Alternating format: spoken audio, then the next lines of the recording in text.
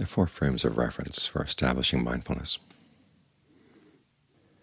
There's the body in and of itself, feelings in and of themselves, mind in and of itself, and mental qualities or mental events in and of themselves. And they're not very far apart. In fact, when the Buddha talks about the best way to develop all four of them, he says focus on the breath. And he doesn't say, when you've had enough of the breath, then you drop the breath and focus on feelings or mind or whatever. You basically stay with the breath all the way through.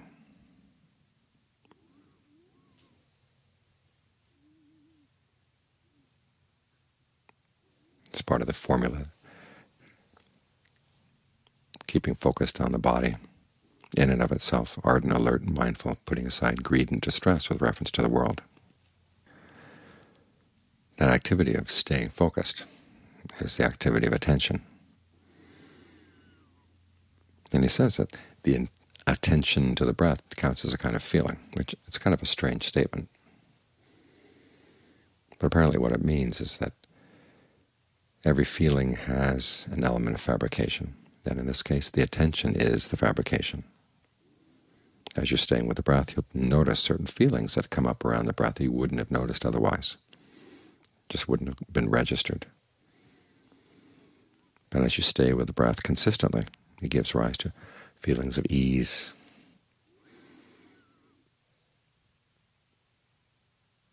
that you can then spread throughout the body. It starts with that active attention. So in attending to the breath, you've got the feeling right there. And then he says that you can't stay with the breath unless you have good mindfulness and good alertness. Those are states of mind. And then as you're abandoning greed and distress, you have to learn how to watch the greed and distress with equanimity. Those are mental qualities.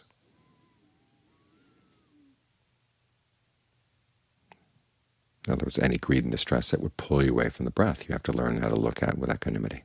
So it's all there as you're focused on the breath. You don't leave the breath to look at the others.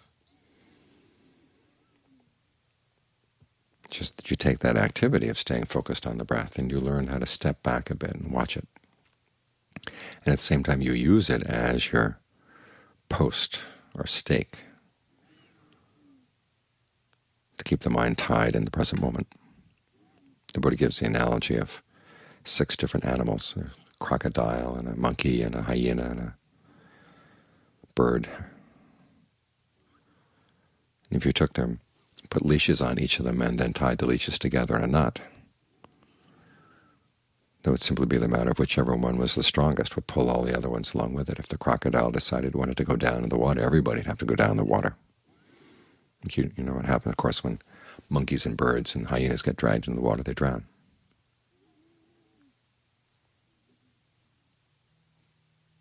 But he said if you take all those leashes and you tie them to a post or a stake, then no matter how much they pull, they have to stay right there next to the stake. And then finally they lie down right next to the stake. This is basically what we're doing as we focus on the breath. We're providing the mind with a stake to keep it in reference to the present moment. Because when you want to start looking at the mind or feelings, it's so easy to get pulled away if you don't have that kind of stake. You're angry about this, you're upset about that, you're fearful about this, and then you go off into that thought world.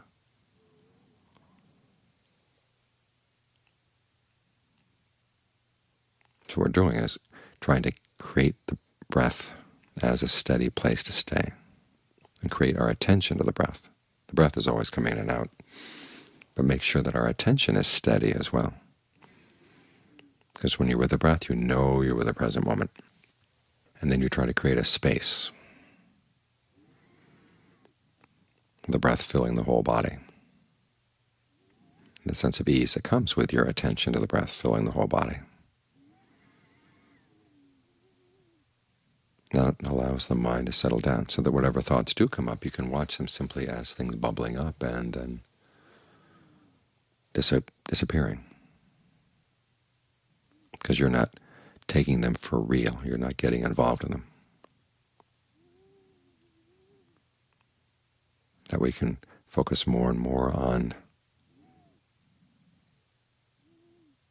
where those thoughts are coming from, because the thoughts are like a magician. The magician does all these things to distract you so you don't see what he's actually doing. Sometimes he's doing his things right in front of your eyes, but you don't see them because he's got some other little trick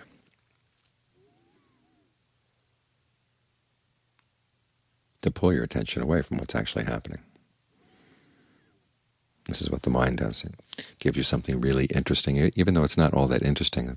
There's something about our thoughts. No matter how dull they are or whatever, we always seem to be fascinated by them.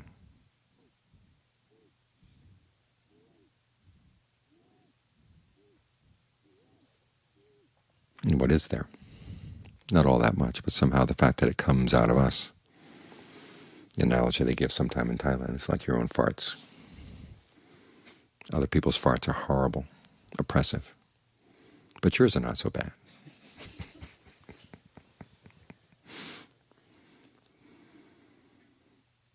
so what we're doing as we meditate is to get something that's more interesting.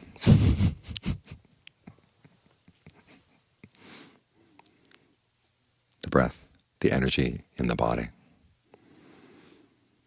So when a thought comes in, you begin to see, well, that's really nothing much, just something bubbling up and going away. You start looking at what the process is that creates the thought. And that's a lot more interesting, how the mind creates these little worlds. This is a really interesting process. But first you've got to get the mind settled down. One of our problems as meditators is that we're often too much in too much of a hurry. We want to move on to the insights that are supposed to liberate us, and we don't want to get the groundwork really solid. And as a result, what happens? Some thought comes along and just pulls us away. Or we see one thought, and we manage to not get pulled away by that, and we get so proud of not being pulled away that that pride pulls us away. So whatever comes up, you've got to stay right here, right here to try to get really interested in the breath. It's your protection. It's your anchor in the present moment. Then it's protection against not only the energies coming out of your mind, but also energies you might have otherwise picked up from other people. It enables you to go through the day. You've got your body filled with your breath energy. So there's no room for other people's energies to intrude. You improve the circulation to the different organs in the body. There are lots of benefits that come from staying with the breath and learning to work with it, getting interested in it. Looking at this process of fabrication in the body.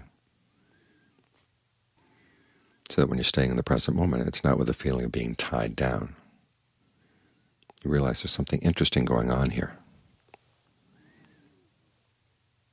You want to look at your intentions. You want to look at all the other elements that go up to make up the present moment. And the first way to see your intentions is to set an intention to stay with the breath and do your best to maintain it. And that's when you find out how there are all these other intentions that come in. Other members of the committee who seem to be with the program, but they were just biding their time. And then we see that they've got their chance, they move in.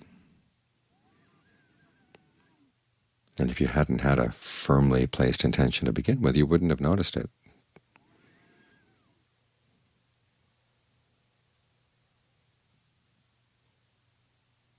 Your trains of thought head off in all sorts of directions, and you're hopping from one train to another. First it looks like you're going to do, go to New York, and then you hop to another train that's going down to Miami, and then there's another train that's going to go to Abilene, Texas, and it just goes all over the place.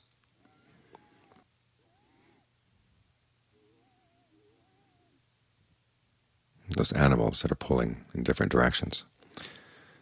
So try to get interested in the breath.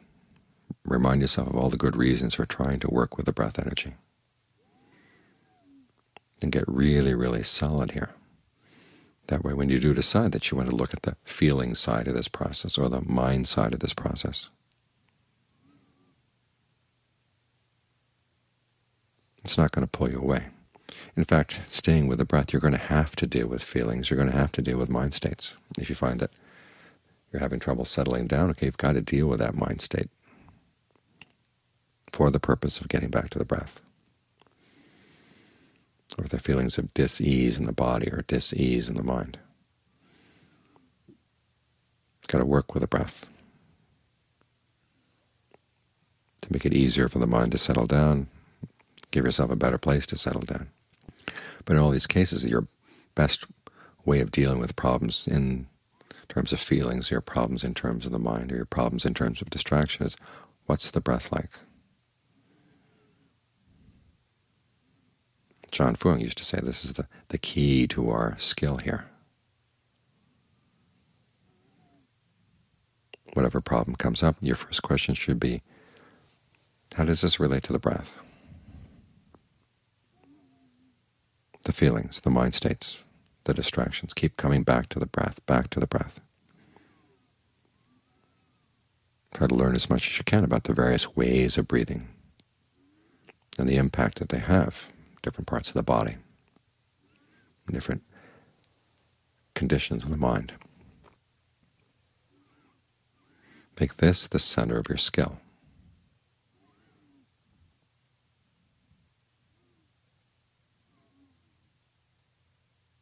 and all the other elements, all the other frames of reference will come gathering around.